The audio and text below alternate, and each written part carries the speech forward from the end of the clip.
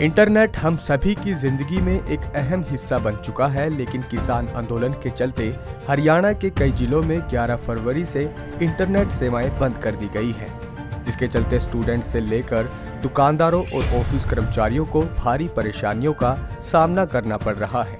और तो और जिस प्रकार से हरियाणा में रूट डाइवर्ट किए गए हैं तो जीपीएस के माध्यम से लोग अपने गंतव्य तक पहुँच सकते थे। लेकिन इंटरनेट सेवाएँ बंद होने के कारण वाहन चालकों को भी काफ़ी परेशानी झेलनी पड़ रही है। हमें बहुत दिक्कतें आ रही जैसे हम चैतन्य यूनिवर्सिटी में पढ़ते तो इस टाइम हमारे एग्ज़ाम्स चल रहे हैं एग्ज़ाम्स में हम पढ़ाई नहीं कर पा रहे ऑनलाइन कुछ भी हमारा जो क्योंकि यूनिवर्सिटी किताबें तो प्रोवाइड कराती नहीं तो हम ऑनलाइन तो हमारे कोई भी हम पढ़ाई नहीं कर पा रहे, और अब मैं दुकान पर सामान लेने आया था, सामान जब मैंने इनको ऑनलाइन पेमेंट की तो ऑनलाइन पेमेंट नहीं हो पाई। और हम दूर में पीजी में रहते हैं तो पीजी में हमें कैश रख नहीं देते, कि पेमेंट्स ऑनलाइन कर देते हैं। तो हमें दो दिन बहुत प्रॉब्लम हो रही है, दो दिन से कुछ यहाँ पे इंटरनेट सेवाएँ बंद है तो हमें बहुत ज़्यादा दिक्कत हो रही है, इसकी वजह से नेट की वजह से। नेट के कारण बस ये है जी, कि जो ऑनलाइन पेमेंट होती है, दस बीस रुपये वाली कोई चीज़ बच्चा लेता है, कोई भी कॉलेज में पढ़ने वाले बच्चे जेब में पैसे रखते नहीं हैं। ऑनलाइन पेमेंट नहीं हो पा रही, उसके बाद जैसे वापस आते हैं छोटी छोटी दुकानदारी है, उसी पर असर पड़ रहा है। ये है जी मेन बात तो। समस्या नेट से प्रॉब्लम आ रही है। सरकार ने ऑनलाइन पेमेंट की हुई है सारी। तो अब पेमेंट हम कहाँ से करेंगे? नेट बंद करने का क्या मतलब किसान आंदोलन कब तक चलेगा?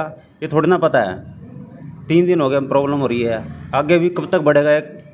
ये सरकार जिम्मेदार करेगी ना।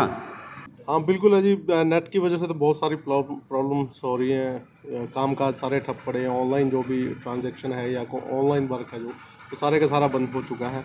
और इससे पढ़ाई भी, बच्चों की पढ़ाई जो क्योंकि एग्ज़ाम भी बहुत नज़दीक आ रहे हैं बच्चों के तो कहीं ना कहीं पढ़ाई पे भी बच्चों का इस पर असर पड़ रहा है। ये पिछले तीन दिन के लिए सरकार ने बिना किसी अल्टीमेटम के बंद कर दिया है। बड़ी परेशानी हो रही है क्योंकि ज़्यादातर पेमेंटें हम गूगल पे से करते हैं, ना कोई पेट्रोल पवा पा रहे हैं, ना कोई दुकान से सामान खरीद पा रहे हैं और ना ही क्योंकि नेट का तो आज लाइफ के अंदर बड़ी यूज़ इसका हो गया है तो बड़ी परेशानी हो रखी है क्योंकि गौरतलब है कि हरियाणा प्रदेश के कई जिलों में 11 फरवरी से इंटरनेट बंद है और अब इंटरनेट बंद की सीमा अवधि बढ़ाकर 15 फरवरी तक कर दी गई है, जिसके चलते लोगों को भारी परेशानियाँ उठानी पड़ रही है।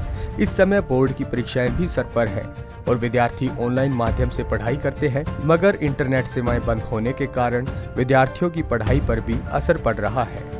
पंजाब केसरी टीवी के लिए कुरुक्षेत्र से अशोक यादव की रिपोर्ट।